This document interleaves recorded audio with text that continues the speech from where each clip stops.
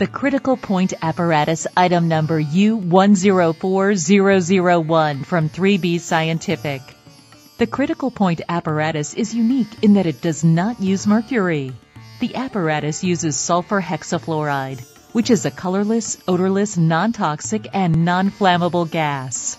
The critical point apparatus can be used for both qualitative and quantitative measurements, including the transition from a gas to a liquid, critical opalescence, and recording isotherms in PV and PVP diagrams. Before beginning the experiment, the SF6 gas must be attached via one 8-inch copper tubing. A compression fitting is included to ensure a secure connection to the device. Do not over-tighten the compression nut. Flush the system several times in order to eliminate any air and ensure only SF6 gas is in the measuring cell. Experiment setup. After decreasing the volume of the cell to a measurement of 10 millimeters, slowly open the regulating valve until a maximum pressure of 10 bar has been reached.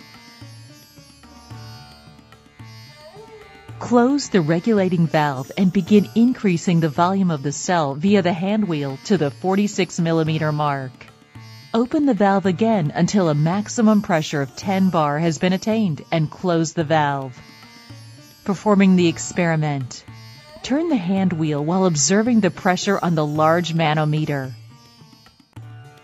SF6 gas will then begin to liquefy at about 27 bar with a critical pressure of 37.6 bar. Once the critical pressure has been reached, return the hand wheel to its original position. Notice the bubbles that appear in the liquid as it begins to return to a gas.